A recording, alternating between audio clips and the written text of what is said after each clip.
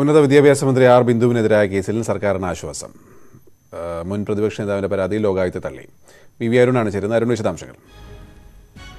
ഗോപി വളരെ പ്രധാനപ്പെട്ട വിധിയാണ് ലോകായുക്തത്തിൽ ഉണ്ടായി ഉണ്ടായിരിക്കുന്നത്.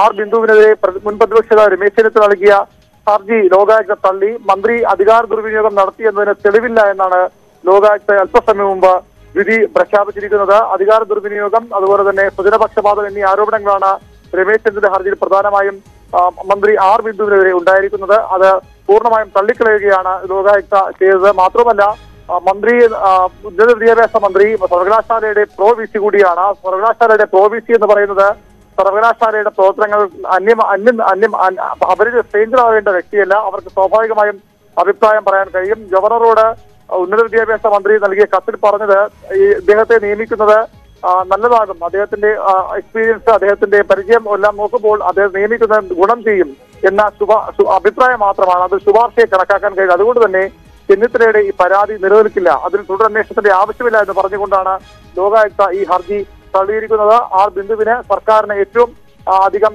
സഹായകമായ അവർക്ക് ഏറ്റവും ആശ്വസിക്കാവുന്ന വിധി തന്നെയാണ് ഇതിലൂടെ ഉണ്ടായിരിക്കേണ്ട ഉണ്ടായിരിക്കുന്നത്. ചെന്നിത്തലയുടെ ഹർജി പൂർണമായും തള്ളിക്കളയുകയാണ് ചെയ്തത്. ഇതുമായി ബന്ധപ്പെട്ട് ഗവർണറുടെ പ്രിൻസിപ്പൽ സെക്രട്ടറിയെ കത്തും കോടതി പരിശോധിക്കുകയുണ്ടായി. ഇന്ന് കോടതി ലോകായുക്ത ചേരുമ്പോൾ തന്നെ അക്കാര്യം പറഞ്ഞുകൊണ്ടാണ് അദ്ദേഹം തുടങ്ങിയത്. അത് ആ ബന്ധപ്പെട്ട വിവാദങ്ങൾ ഇപ്പോൾ ശ്രദ്ധയിൽപ്പെടുന്നുണ്ട്. അതുകൊണ്ട് തന്നെ അക്കാര്യം ആദ്യം വ്യക്തമാക്കട്ടെ. ഇത്തരത്തിലൊരു പ്രിൻസിപ്പൽ സെക്രട്ടറി നൽകിയ കത്തുണ്ട്. ആ കത്ത് നിയമോപദേശത്തിന്റെ കൂടി അടിസ്ഥാനത്തിൽ സർക്കാരിന് നൽകിയ നിർദ്ദേശത്തിന്റെ അടിസ്ഥാനത്തിലാണ് കത്ത് നൽകിയത്. ആ കത്തിൽ അടിസ്ഥാനത്തിൽ തന്നെയാണ് സർക്കാർ നടപടികളിലേക്ക് പോയത് എന്നാണ് പ്രധാനമായും ലോകായുക്ത വ്യക്തമാക്കിയത്. അതിന്റെ കൂടി അടിസ്ഥാനത്തിലാണ് ഈ സർക്കാരിന്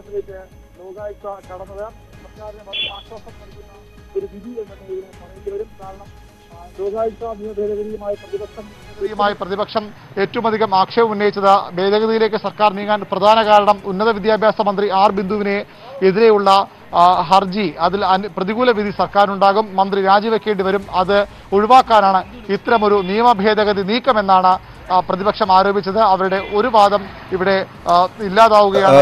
അരുൺ ഈ വിധിയിലൂടെ ഇപ്പൊ അഥവാ പ്രോ വൈസ് ചാൻസലർ മന്ത്രി ബിന്ദു കത്ത് നൽകിയെങ്കിലും അതൊരു നിർദ്ദേശമായി അത്തരം പ്രോ വി സിക്ക് നൽകാം എന്ന് തന്നെയാണ് ഈ ഉത്തരവിൽ പറഞ്ഞു വയ്ക്കുന്നത് അല്ലെ? ഗവർണർക്ക് വേണമെങ്കിൽ തള്ളുക കൊള്ളുക ചെയ്യാം പക്ഷേ ഇങ്ങനെ ഒരു നിർദ്ദേശം പ്രോ വി സിക്ക് നൽകാം.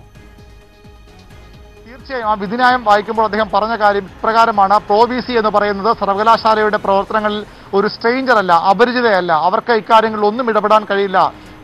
മാറി നിൽക്കേണ്ടവരാണ് എന്ന് പറയുന്നതിന് യോജിക്കാൻ കഴിയില്ല. അവർ പ്രോവിസിയാണ് മന്ത്രി എന്ന നിലയിലുള്ള അധികാരമുണ്ട്. അതുകൊണ്ട് തന്നെ അതിലൊരു ശുപാർശ നൽകാൻ നിലവിലെ വി സി യോഗ്യനാണ് അദ്ദേഹത്തിന് തുടരാൻ അദ്ദേഹത്തിന്റെ പ്രായവും മറ്റു കാര്യങ്ങളുമല്ല ഇതുമായി ബന്ധപ്പെട്ട് പരിഗണിച്ചത്. അദ്ദേഹത്തിന് തുടരാൻ കഴിയും. അതിന് യോഗ്യനായ ആളാണ് അദ്ദേഹം എന്ന് സ്വാഭാവികമായും ഒരു അഭിപ്രായം പറയാൻ പ്രോ വി സിക്ക് അവകാശമുണ്ട് മന്ത്രിക്ക് അവകാശമുണ്ട്. അത് അംഗീകരിക്കേണ്ടി വരുമെന്ന് തന്നെയാണ് വിധിനായത്തിൽ കോടതി വ്യക്തമാക്കുന്നത്. അതെല്ലാം ചൂണ്ടിക്കാണിച്ചുകൊണ്ട് തന്നെ- തന്നെയാണ് ഇത്തരമൊരു പ്രധാനപ്പെട്ട തീർപ്പിലേക്ക് ലോകായുക്ത നീങ്ങിയത്. രമേശ് ചെന്നിത്തലയുടെ പരാതി ഇതിൽ തുടരന്വേഷണം വേണമെന്ന പരാതിയുണ്ട്. അതും ഈ ഘട്ടത്തിൽ അംഗീകരിക്കാനാകില്ല എന്ന് തന്നെ വളരെ വ്യക്തമായി വിധിനായത്തിൽ ലോകായുക്ത വ്യക്തമാക്കുകയാണ്. സുപ്രധാനമായ വിധിയാണ് വന്നിട്ടുള്ളത്. വളരെ പെട്ടെന്ന് അതിന്റെ വിശദാംശങ്ങളിലേക്ക് മറ്റ് പ്രതികരണങ്ങളിലേക്ക് വരാം. ഇടവേളയ്ക്ക്